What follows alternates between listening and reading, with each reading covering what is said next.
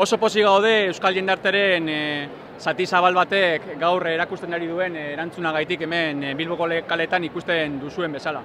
Osen eta sendo adirazten ari duena da injustizia hau lekuzkanpo eta garaizkanpo dagoela.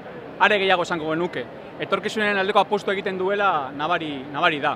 Eta zentzu horretan eta horren ondorioz e, iraganari katraminatu eta kateatu nahi gaituen e, dozein motako e, injustizia, bidebekeri eta, eta sufrimendu atzean utzi nahi duela. Gure herriak aurrera begiratu nahi du, eta gu horren parte zititza gara.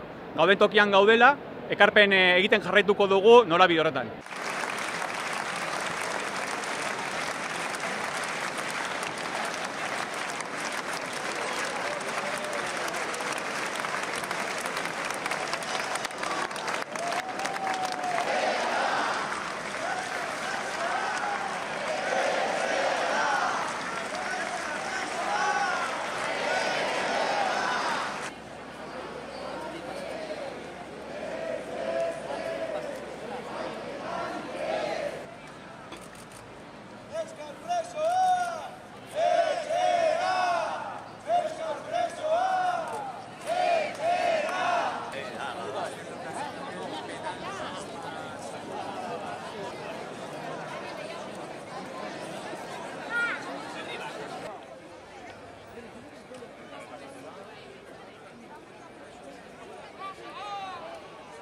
Biur dezagun iraganera eraman nahi gaituen epaiketa hau etorkizunerako ate.